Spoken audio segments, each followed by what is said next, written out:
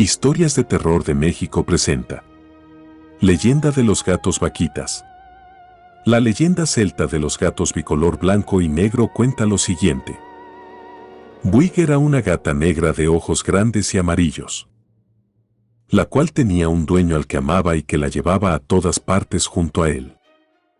Paseaban juntos. Él le compartía su comida.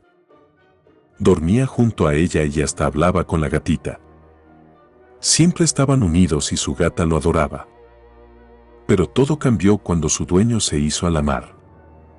Como no quería que le pasara nada en alta mar a la gata, prefirió dejarla al cuidado de su madre. Esta la encerró en el granero para que no siguiera a su hijo al puerto. Buick maulló semanas esperando a su amo. Hasta que una mañana un vecino llevó una mala noticia a la madre de su dueño. Hubo una tormenta fuerte y una ola se tragó a su hijo. Al escuchar esto, Buig espantada huyó de la casa y corrió hasta la playa. Como no estaba su dueño, empezó a caminar por la costa buscándolo. Así pasó mucho tiempo. La gata se encontraba delgada, cansada y sin ganas de seguir. Cuando llegó a Kirkwall en el norte del país, se asomó al acantilado y le dijo al océano, llévame con él al fondo de tu abismo.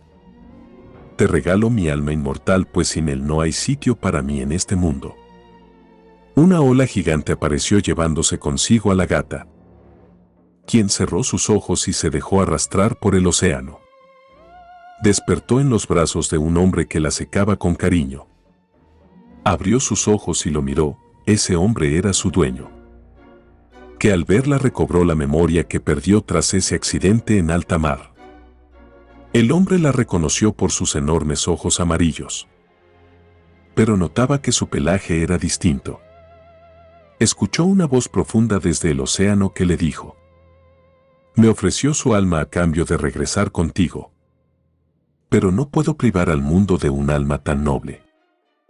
A cambio llevará en su manto mi recuerdo la espuma del mar y un don que le concedo a ella y sus descendientes.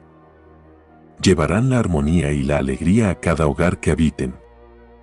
Desde entonces existen los gatos blancos y negros, que llevan el legado de Buick y el don de llevar armonía y alegría a aquellos que comparten sus vidas. Si has llegado hasta aquí, significa que te ha gustado nuestro contenido de historias de terror de México. Gracias por ver el video. Espero te haya gustado este relato real adaptado para historias de terror de México.